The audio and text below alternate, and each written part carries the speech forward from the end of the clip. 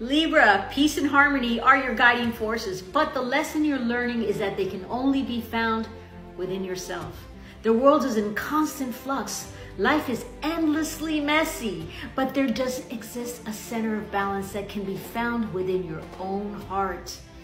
When you develop a harmonious relationship with yourself and recognize your inner beauty, you'll see that harmony reflected throughout your whole life. Your relationships are mirrors guiding you to better understand what you desire and deserve.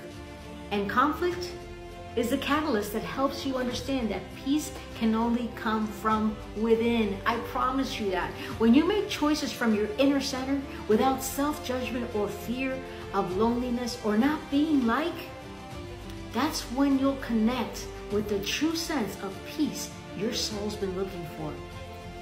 I welcome you to share your thoughts comment below. Follow for more love and light.